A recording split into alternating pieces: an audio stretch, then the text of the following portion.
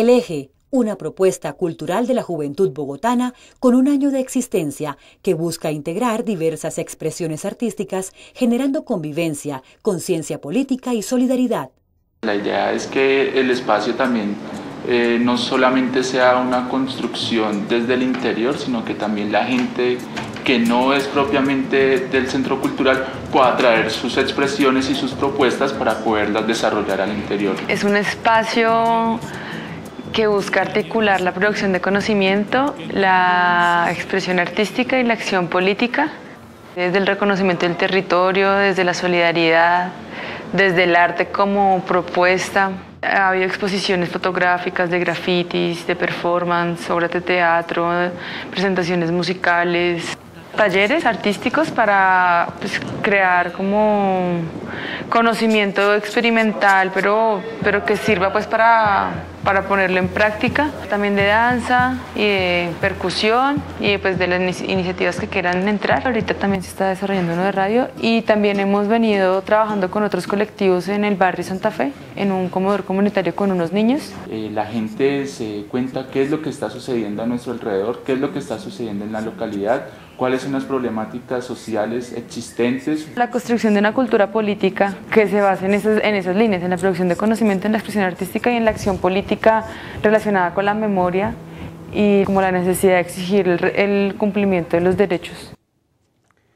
Uno de los problemas más graves que vive nuestro pueblo colombiano es el de la salud, el de la inexistencia de un verdadero sistema de atención en salud, que signifique una garantía para todas las personas, para todas las familias, para sus niños.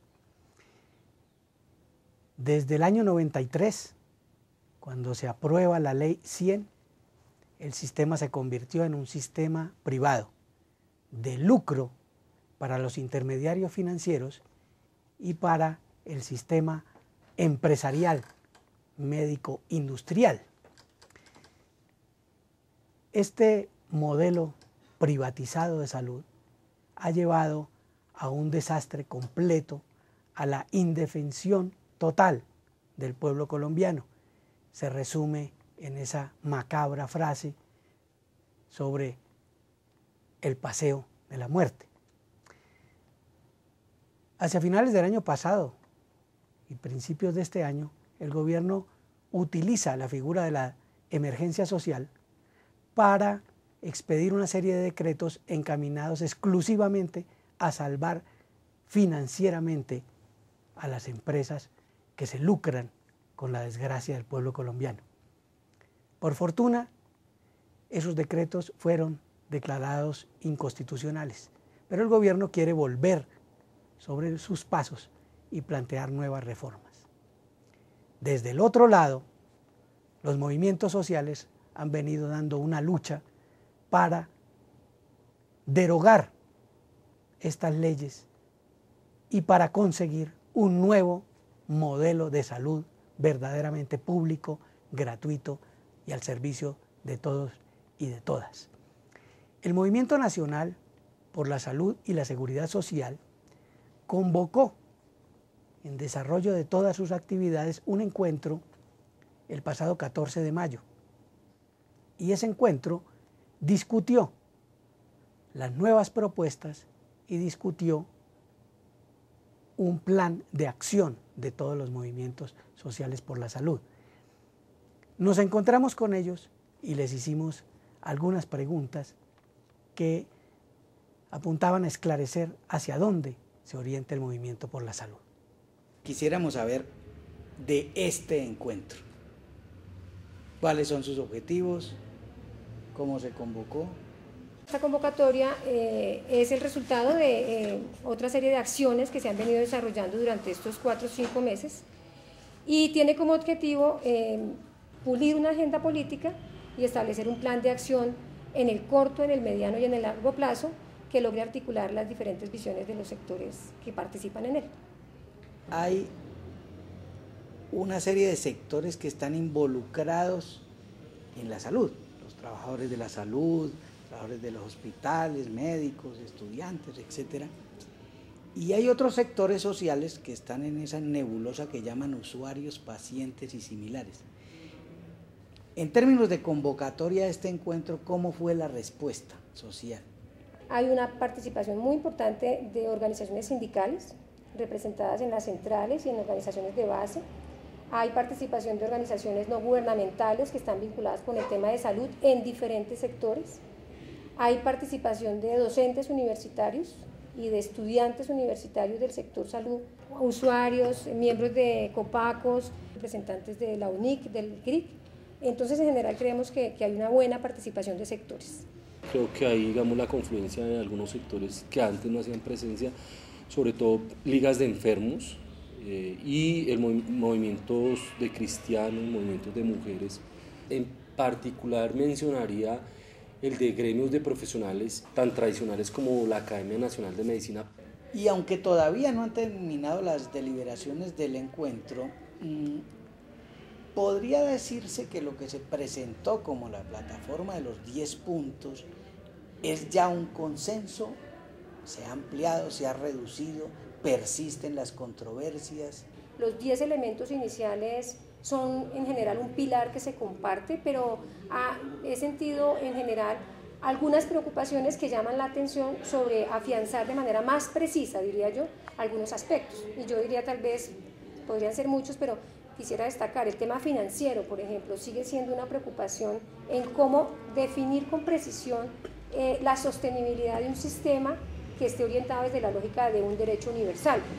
En segundo lugar, en el conjunto, digamos, de ejercicios sigue siendo una preocupación que podamos expresar un concepto de salud eh, y particularmente de servicios asistenciales vinculados con una visión de promoción, de prevención, de calidad de vida y no circunscribir únicamente la discusión al tema de los servicios asistenciales curativos.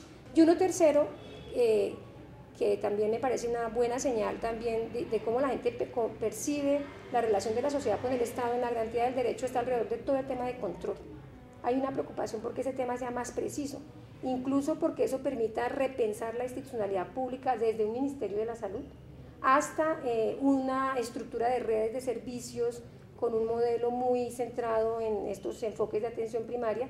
Y yo diría, tenemos entonces hoy en día eh, una visión, me atrevería a decir, nacional entre los sectores, de que aquello por lo que estamos eh, organizándonos y luchando tiene materialidad concreta, no es una cosa etérea, no es un concepto de, que, de la salud en general, sino que ya hay un aprendizaje social muy claro en relación con una serie de conceptos que realmente viabilizan ese, esa aspiración.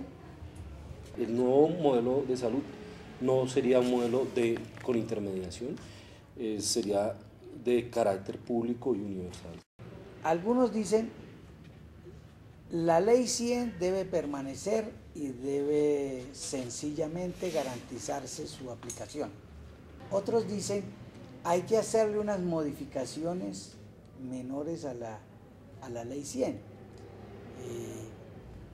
hay otros que dicen, habría que hacer un cambio sustancial de los pilares de la ley 100. Y hay otros que dicen, hay que derogar la ley 100. ¿Cuál es la la dinámica que, tiene en este momento y la que se ha visto aquí en el encuentro. Nosotros no aceptamos lo, que dice el ministro en el sentido de que la ley tiene una niña, una niña con más de 16 años que acabó con los hospitales, que acabó con el derecho a la salud, que elevó los costos y que no resolvió ninguno de los problemas de, de la salud de los colombianos. Definitivamente la ley 100 debe ser derogada y es necesario establecer una nueva ley que tenga como punto de partida el derecho. Es que la ley se tomó como punto de partida el negocio. Hemos establecido como una agenda de trabajo con un grupo del Congreso, porque está claro que ese va a ser un escenario en el corto plazo en el cual el movimiento tiene que lograr eh, generar unas condiciones más favorables, por lo menos para que se escuche la perspectiva del movimiento, como mínimo. Tenemos un acuerdo en el sentido de que la participación en este tipo de escenarios estará sobre la premisa de seguir afianzando la necesidad de derogar la ley 100 y de abrir un debate nacional que nos permita un nuevo modelo en salud y seguridad social.